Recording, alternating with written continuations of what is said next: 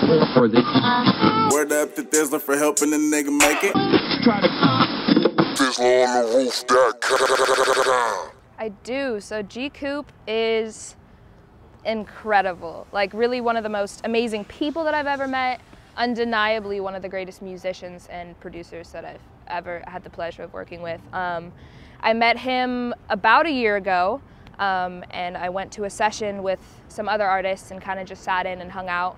Um, and after that, he called me and asked if I'd be down to sing a hook for a song that he had produced um, for his G Koop and O Man series um, with an artist named Passwords, who's an awesome rapper. Um, and I went and I did that song, and after that, we kind of like cultivated a little bit of a relationship, and um, we just started working. So we just, I, I show up and we create something from scratch. We build it from the bottom up, which is amazing. We're working on a little bit of a project right now, which I'm super excited about, um, with no super specifics yet, but it's definitely happening, um, which is incredible because that's really where I get to go and really do my artistry. I get to start from the very beginning. We create together the production, and then we go through the writing together.